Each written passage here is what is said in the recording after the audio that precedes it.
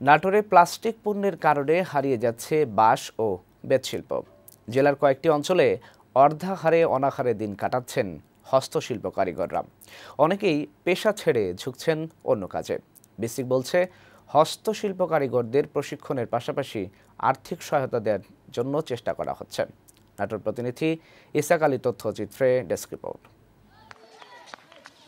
একটা সময় ছিল যখন গৃহস্থালির কাজে বাঁশ ও বেতের পণ্য ছাড়া অন্য কিছু কল্পনা করা যেত না। প্লাস্টিক পণ্যের জোয়ারে এখন আর সেই সোনালি দিন নেই। খেয়ে না খেয়ে জীবনযাপন করছেন নাটোরের হস্তশিল্প কারিগররা।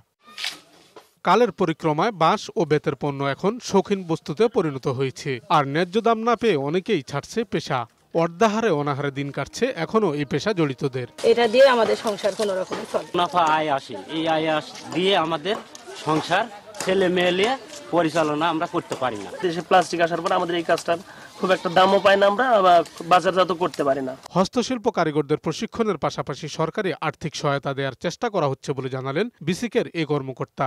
প্রধান কার্যালয়ের সাথে যোগাযোগ করে তাদেরকে প্রশিক্ষণের ব্যবস্থা করে দেব এবং তারা যেন পাশাপাশি আর্থিক সহায়তা পায় এই বিষয়ে আমি দেখব। এই শিল্পকে বাঁচিয়ে রাখতে সরকারি পৃষ্ঠপোষকতার পাশাপাশি প্লাস্টিক পণ্য বর্জনের সামাজিক আন্দোলন গড়ে তুলতে হবে বলে জানিয়েছেন সংশ্লিষ্টরা। ডেস্ক রিপোর্ট বৈশাখী সংবাদ।